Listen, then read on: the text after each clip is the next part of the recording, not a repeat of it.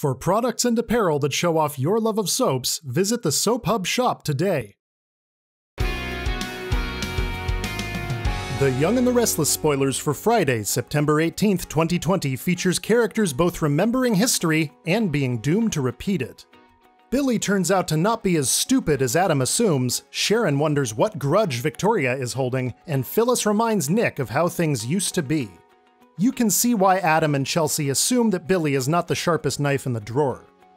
He let Chelsea con him into a relationship, then tried to sell Johnny to him and Victoria.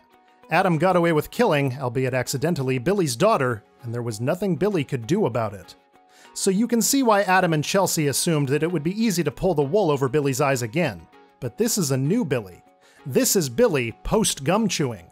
He's still got a bit of dark Billy in him. And when he discovers Chelsea is in his office, he knows she's up to no good, no matter how clever she thinks she is. Adam is not Sharon's man, and she has already made it clear to Rey and to Adam that she will no longer be standing by him.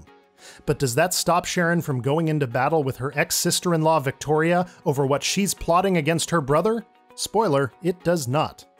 Sharon may no longer be Adam's therapist, but that doesn't mean she isn't still putting him first.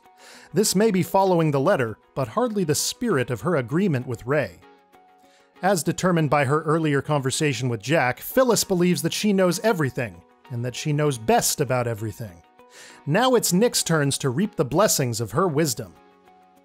The Young and the Restless made its debut on March 26, 1973, having been created by William J. Bell and Lee Philip Bell.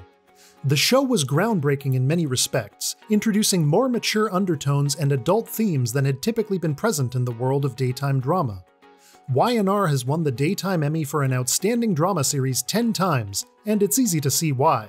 From Victor Newman's family machinations, to Paul Williams' heroism, to the heartwarming love stories that frequently grace the canvas, The Young and the Restless knows how to entertain fans and keep them coming back for more. During the boom in soap opera popularity that took place in the 1980s, many of the show's performers and characters became household names. Today, The Young and the Restless is one of four remaining daytime dramas currently on the air, with the other three being General Hospital, Days of Our Lives, and The Bold and the Beautiful. The Young and the Restless airs weekdays on CBS. Check your local listings for airtimes.